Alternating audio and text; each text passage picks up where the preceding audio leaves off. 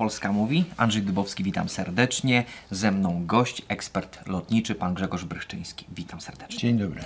Panie Grzegorzu, e, jesteśmy już na etapie licencji e, turystycznej. E, co dalej? Otóż tak, licencja turystyczna to jest bardzo fajna licencja, bo ona już pozwala zabrać do samolotu rodzinę, przyjaciół, znajomych. E, można wtedy sobie zaplanować lot. Nie Czy ty- komercyjnie możemy już kogoś zabrać? Komercyjnie nie, bo my nie mamy jeszcze licencji zawodowej, prawda? My mamy licencję turystyczną, która pozwala nam zabrać do samolotu w miarę ilości posiadanych miejsc oprócz pilota.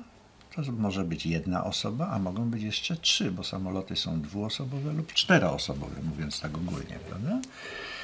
I wtedy możemy sobie wykonać taki lot, co zresztą w tej chwili jest dość popularne, bo wiele osób, które sobie. Przepraszam, Tak. pozwolę sobie panu przerwać. E, Jednosilnikowe samoloty, mm, ale jeśli powiedzmy mamy jakiegoś AN2, jednosilnikowy samolot, e, on ma wiele więcej miejsc. No tak, ale my mówimy o licencji turystycznej. A N2 to jest samolot, który jest, ma większą masę startową, prawda?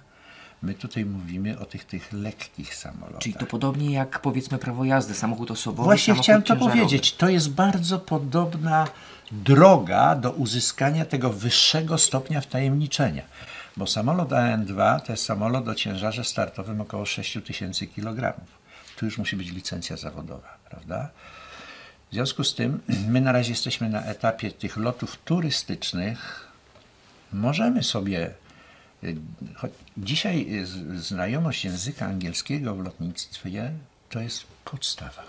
Dlatego, że procedury radiowe, procedury związane z dolotem do lotniska, nawet w Polsce, one są prowadzone, cała korespondencja jest prowadzona w języku angielskim.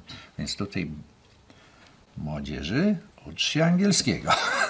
to jest podstawa. Czy z licencją turystyczną możemy się poruszać po Europie? Właśnie chciałem powiedzieć. Możemy sobie wziąć rodzinkę i na przykład na wyspę Krk polecieć, prawda? Do, na Słowację, do Czech, na Litwę, gdziekolwiek nam się zamarzy, do Europy Zachodniej. Gdziekolwiek nam się ma- zamarzy, byleby to było w zasięgu parametrów lotnych samolotu. A więc zasięg to znaczy ilość paliwa, warunki pogodowe, dokładne rozeznanie ruchowe, dokładna znajomość, i tu już się zaczyna korzystanie z tak zwanego zbioru informacji lotniczych, gdzie każde lotnisko jest dokładnie opisane, gdzie są procedury podejścia dokładnie opisane, i tu się właśnie przydaje język angielski, bo jeżeli ja się zgłaszam na podejściu, to mi kontroler mówi, że z jakiego punktu, powiedzmy z punktu alfa, z punktu brawo, bo są pewne punkty charakterystyczne wokół lotnisk, których nie wolno pominąć, bo z tamtego miejsca zaczyna się właściwe podejście do lądowania. No i wtedy właśnie trzeba się znów przygotować plan lotu, ale zabieram sobie rodzinę i lecę sobie turystycznie po prostu. I mogę Europę zwiedzać. Europa stoi otworem. Tylko jeszcze raz powtarzam, byle w zasięgu parametrów lotnych samolotu i ze znajomością trasy, którą chcę polecieć. I im więcej godzin nalatamy, ja tutaj zawsze przywołuję taki dość przykry dla mnie przypadek sprzed przed kilku lat, gdzie człowiek, który uzyskał taką licencję, kupił sobie doskonały samolot, doskonale wyposażony. I on mi kiedyś się zwierzył, mówi, słuchaj, ja bym chciał tak tym swoim samolotem do Japonii dolecieć. Ja mówię, słuchaj, to nie jest problem. Tym samolotem dolecisz, tylko trzeba sobie rozłożyć to na etapy. No ile ty masz godzin nalatane? No około tysiąca. A gdzie ty nalatałeś te tysiąc godzin? A tutaj po Polsce, bardzo blisko. No dobrze, ale chcesz lecieć do Japonii. Czy ty kiedyś w górach latałeś? No nie. Czy ty kiedyś latałeś e, w sytuacjach związanych z tak zwaną bryzą morską, bo są lotniska, no, Gibraltar nie polecam żadnemu niedoświadczonemu pilotowi, prawda? E, I parę innych lotnisk nad Morzem Śródziemnym, gdzie trzeba właśnie zwracać uwagę na tak zwaną bryzę morską, na wpływ tych y, fal powietrznych, tych ruchów konwekcyjnych, które czasami mogą utrudnić lądowanie. No ale ja sobie daję radę. No niestety, nie dał sobie rady. Poleciał i spotkał się z takim zjawiskiem. Do tego się bardzo popsuła pogoda i zamiast wracać, jak to się mówi w języku lotniczym, pchał się dalej i dla niego się to tragicznie skończyło. Więc dlatego mówię, zanim polecisz, naucz się latać w różnych warunkach, bo po to sobie będziesz budował nalot w różnych warunkach, bo będziesz wtedy zdobywał uprawnienia do lotu w warunkach średnich, w warunkach trudnych, w warunkach IFR, a nie VRR, bo IFR to jest instrument, lot na instrumenty. To I to są instrument, prawda? Czyli procedury ściśle określone, ściśle związane z wysokością, z prędkością, z kierunkiem lotu dla danego podejścia do lądowania, czy w ogóle poruszania się w trudnych warunkach atmosferycznych.